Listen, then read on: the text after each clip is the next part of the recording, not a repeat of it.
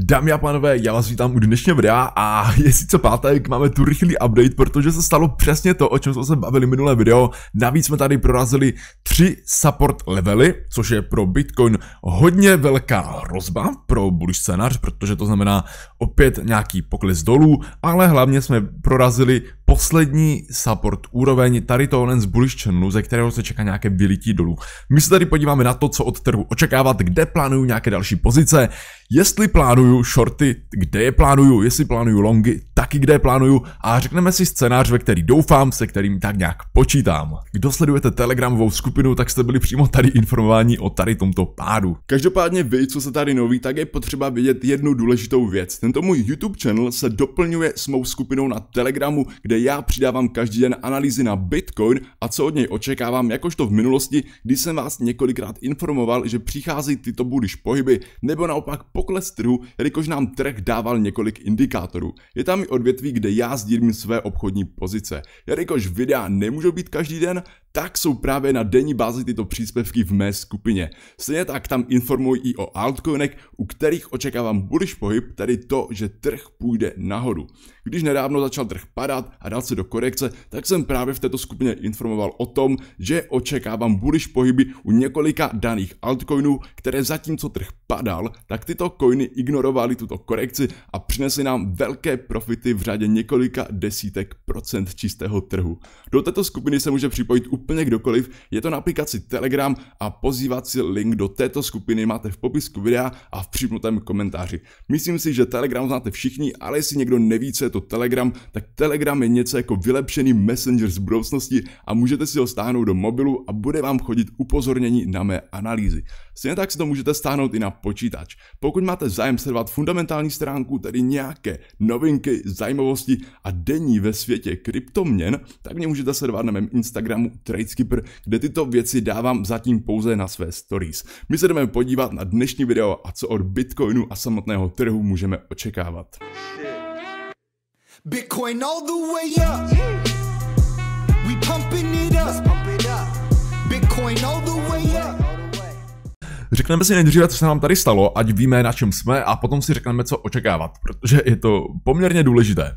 Ten Bitcoin nám tady vyplnil úplně přesně ten scénář, o kterém jsme se bavili, že tady po průrazu budu očekávat bumpu a zde odmítnutí dolů. Já jsem sice nečekal, že tak rychle prolítneme i tady tento zelený support level, ten byl proletěný úplně strašně rychle, ale potom nastalo to, co jsme si říkali, že tady, jak to mile to prorazíme, tak bude rychlá dumpa dolů, protože budou proražené tři support levely a nebude to nic, co by nás nějak odráželo nahoru. A to se tu právě vyplnilo a teprve zde nastal nějaký odraz a další pomalá formace dolů. Nicméně, kdo sledujete moji telegramovou skupinu, tak jste byli přímo zde informováni, že tady čekáme velké bearish objemy a že se tu bude očekávat nejspíše nějaký pokles, takže určitě se to vyplatí sledovat a my se jdeme podívat na to, co tedy teďka můžeme očekávat.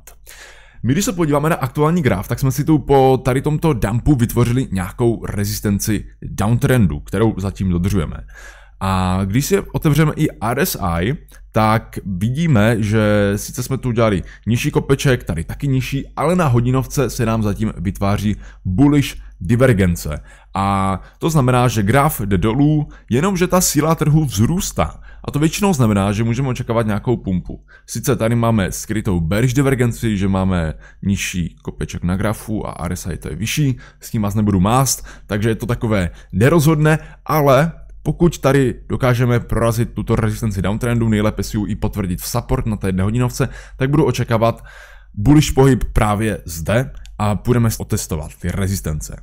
Nicméně, teďka se chci podívat na nějaký scénář, ve který já doufám, se kterým bych byl úplně nejšťastnější, vzhledem k tomu, jak to krypto funguje, protože já bych byl opravdu rád za ten scénář, kdybychom dojeli tady tento support level dolů. Ať už by to bylo tak, že bychom to byli odraženi a dojeli bychom zde dolů, nebo bychom jeli právě to tu prorazili, šli se to tu otestovat a zde, kde máme nad sebou několik rezistencí, tak byli odmítnutí tady dolů. Řeknu vám hnedka proč. Protože ty shorty se stále nabízejí, ale po takovém velkém pádu jsou poměrně rizikové. A vstupovat do shortu po velkém pádu je to prostě větší riziko. Takže já mám v plánu to, že do těch shortů bych chtěl vstoupit právě tady v této rezistenční zóně která je pro nás není rezistencí, to nemáme dokonale potvrzené jako rezistenci, ale prostě nám to tu už slouží jako rezistence, protože to jsou tři křížené úrovně, které byly pro nás předtím support a nyní jsme pod něma a ten bearish nátlak tu je prostě velký. Takže zde bych chtěl zapnout nějaké short pozice a nejlepší by bylo to, co jsem vám říkal zde, kdyby jsme tu byli, odrazili se dolů, jeli tu nahoru, udělali vyšší kopeček, ale na tom RSI bychom udělali nižší kopeček a tím pádem to je bearish divergence a očekával by se pád dolů. Zase naopak, kdyby tu byl první pád dolů, tak by to bylo úplně super, protože by se tu nabrali ty bullish objemy a tady bych chtěl využít longu u altcoinu nejspíše a počkal bych se na nějaký ten odraz a dal si stopku nad vstupní cenu. Je důležité si uvědomit, že Bitcoin je teďka v poměrně rizikovém trendu, v rizikovém prostě celkovém tady tomto trhu, je to rizikovější a velmi volatilní, takže je dobré opravdu počkat si na nějaký odraz a dát si stopku na vstupní cenu nebo těsně nad ní. A právě v těchto rizikovějších fázích trhu je důležité dbát na to, že po odrazu je tady klidně možnost vybrat už nějaký profit, klidně nějaký větší profit a ten další profit vybrat právě třeba zde. Jo, a může to být úplně finální profit. Jo, jeden tady, druhý tady a kdyby ten trh jako měl odvahu, nebo on tu odvahu má jako vždycky na všechno, ale kdyby ten trh se rozhodl, že jako spadne a on tady tento support potvrdil v rezistenci, tak paráda, máme vybraný profit, můžeme si tu stopku dát tady. No a to samé právě teďka plánuju i pro tuto potenciální rezistenční oblast. Tady kdyby dal ten short, zapl ho, počkal bych si buď na bearish divergenci, nebo bych si počkal na pumpu a hned bych to zapl, počkal si na odraz dolů, vybral nějaký profit a stopku bych si dal buď na vstupní cenu, nebo bych si počkal, jestli Bitcoin neudělá to, že fakt by se jako odhodlal a tady by to prorazil, potvrdil si v support a tím pádem by se očekávala pumpa minimálně na těch 32 tisíc, kdyby prorazil i toto, uzavřel nad tím, tak pumpa potom tady ke 40 tisícům. Jo? Proto se opravdu jako vyplatí pro mě, když si vyberu nějaký ten profit a potom si můžu klidně počkat na to, jestli tady přijde to potvrzení v support. Jo, pokud přijde, tak to vypínám a mám buknutý nějaký profit, tady malinkou ztrátu, ale ten profit je pořád větší. S tím je důležité pracovat a to je to, proč říkám, že nikdy není chyba vybírat profit, jo, protože už vám to jistí nějakou ztrátu, máte nějaký profit zajištěný a tak dále. Nevyplatí se čekat z mého pohledu do nekonečna. Samozřejmě tady to samé potvrzení v rezistenci se tady rovná pád až na nějakých 32 tisíc, průraz 32 tisíc až na nějakých 30 tisíc když chci mít taky nákupní pozici do hodl Bitcoinu. Ještě jedna důležitá věc, ty shorty jsou ve hře pouze do té doby, dokud jsme v tomto korekčním falling wedge patternu a pod touto červenou rezistenční zónou.